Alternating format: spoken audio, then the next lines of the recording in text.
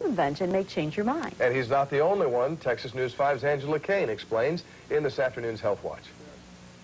There is something tantalizing for teeth at this orthodontist office in Plano, something more patients are willing to sink their teeth into. It's a new braces system, and there is no other system like it. Alexandra?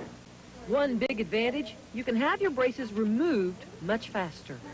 The overall treatment time for most patients is about a year to a year and a half instead of two or three years. Dr. Anthony Viazis designed the new braces, so they carry his name, Viazis Braces. Unlike traditional braces, which are square, his are smaller and triangular. A wire runs through all braces to move and straighten the teeth, but because of his unique design, the wire moves faster. The wire slides in the braces, in the triangular braces, and moves the teeth with very easy gliding, very easy sliding, because there's so much less friction. You can think of it as an ice skater skating on smooth ice versus rough ice. And because his brace design causes less friction and moves faster than traditional braces, the teeth straighten faster. That's good news for his patients. Kimberly Baker says another orthodontist told her she would need braces for three years, but she had her Viazis braces removed after a year. He told me, year, tops.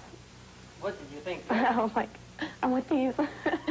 And patients say less friction in the Viazis braces system causes less discomfort.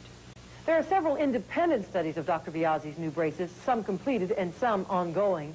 Separate studies at the University of Southern California, in Europe, and in South America give a thumbs up to the new braces. They say they work, causing less friction and moving the teeth faster and easier. Orthodontists in 10 countries have embraced and are using Viazis braces. Keep on brushing and flossing, okay? All right. Bye-bye. See you later. And his patients say his system was the right step for them. I think, wow, and it only took a year, you know? Angela Kane, Texas News 5.